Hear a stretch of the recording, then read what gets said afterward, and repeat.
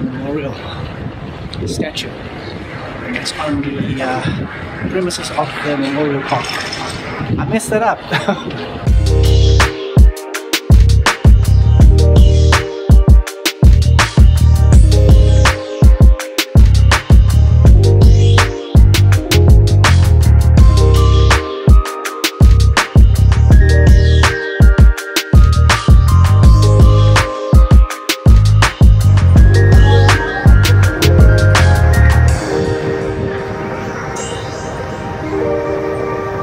guys, this is the River Liffey.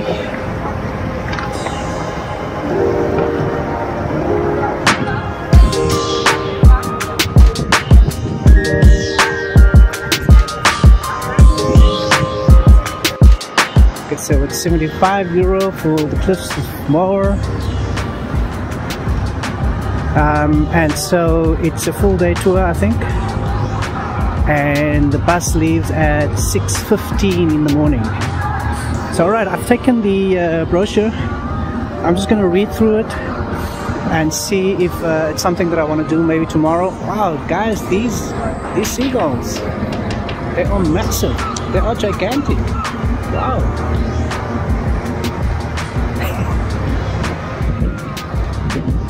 Goodness. What do they feed these things man Alright, so as I was saying, I want to just check out this brochure and I want to decide if I want to do that tomorrow or maybe any other day.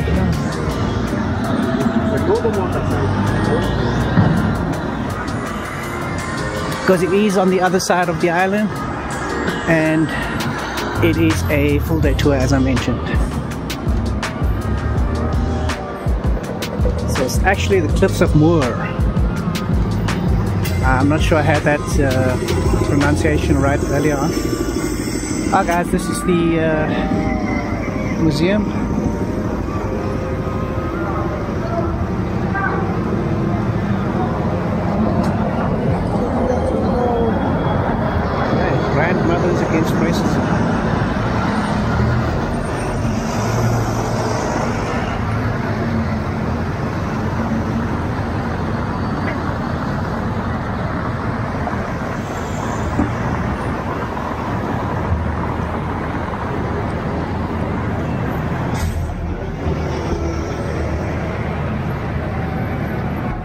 I'm going to visit a very famous landmark in Dublin, and that's the Oscar Wilde. It's crazy. That's the Oscar Wilde statue. Let's just make our way there. Hope I don't get lost. It's on a memorial site. Um, so, just checking out Google Maps, and it shows like 15 minutes. So let's do this. Guys, you notice the street names? Right, it says Mark Street, right? But the uh, the language above, that's the official Irish language. So the official language is the Irish language and then English is the second language. I see it.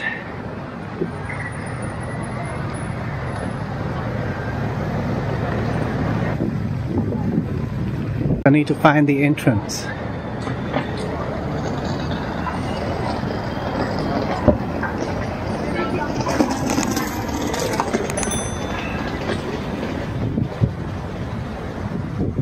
Let's check it out. Ah, it's right here.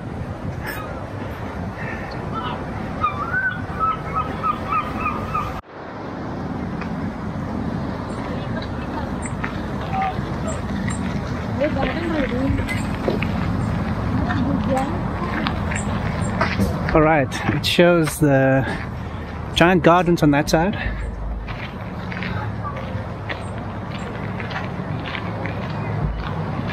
Let's do the thing.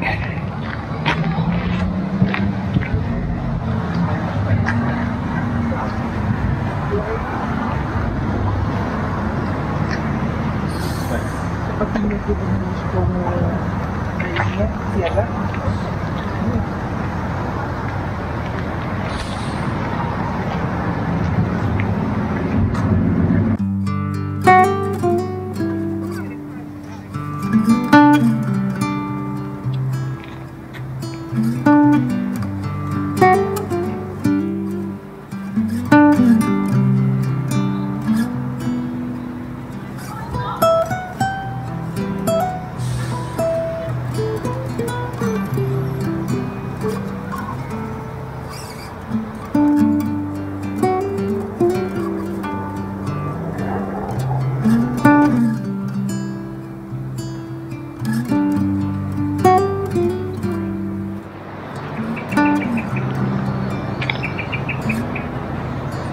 Wow, guys. This is so beautiful. The giant gardens.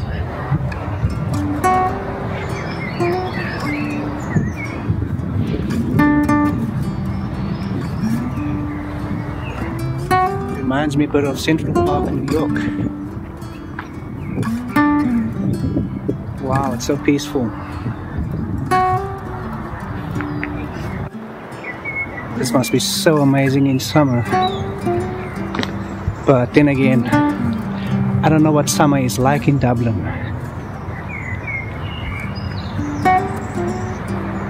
But this looks amazing. So this is the Merrion Square Park. Merrion Square Park. And that's where we saw the sculpture of Oscar Wilde. Alright guys, I'm gonna make my way back to uh, close to Temple Bar and then I want to show you Clarence, the Clarence Hotel.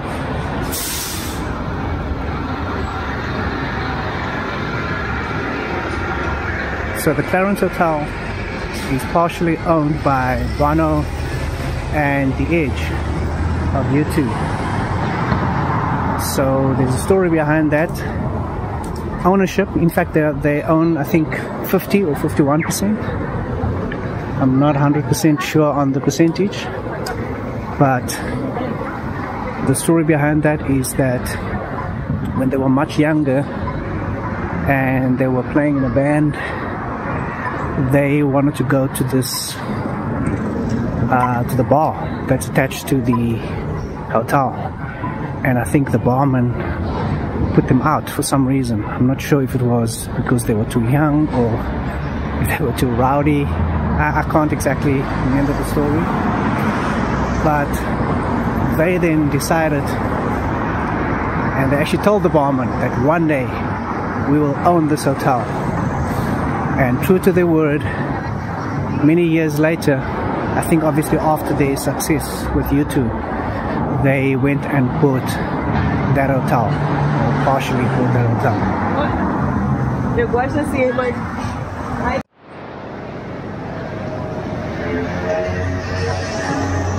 How awesome is this place, guys?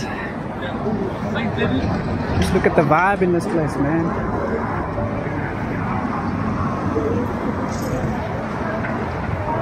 As per usual guys, I have no clue where I am.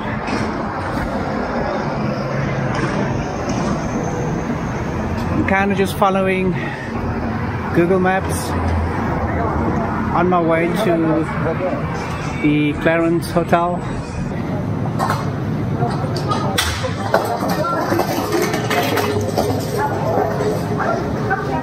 So tonight guys, I'm doing the pub crawling tour.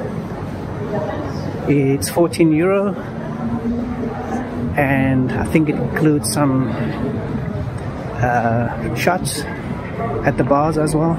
Of course, you have access to the bars, and uh, I think they give you some Guinness as well.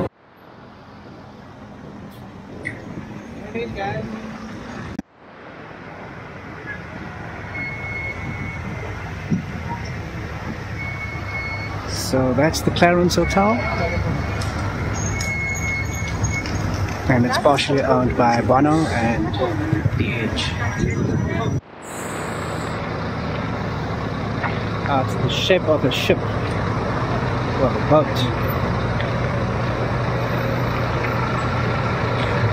I think this must have been a Viking boat.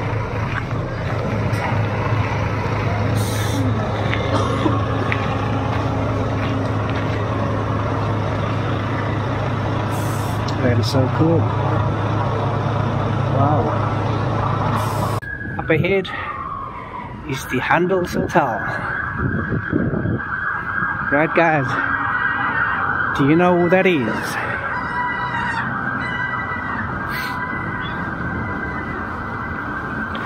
So I don't know if you are familiar with the song Handel's Messiah. So this is person that composed that song. George Frederick Handel. The first performance of The Messiah took place in the music hall Fishamble Street on 30th April 1742. Wow. Right guys, some history right here.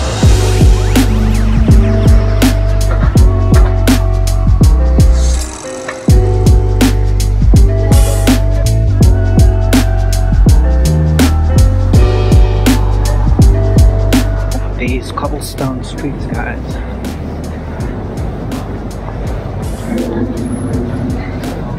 It reminds me of an olden times. I think they deliberately kept it this way to maintain that kind of uh, atmosphere and that kind of feel. Yeah, loving it.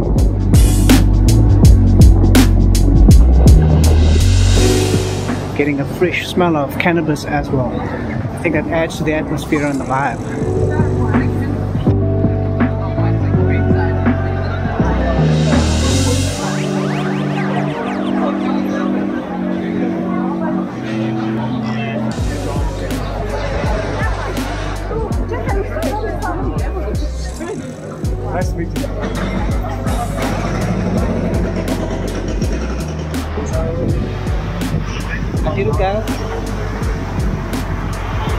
75 euros.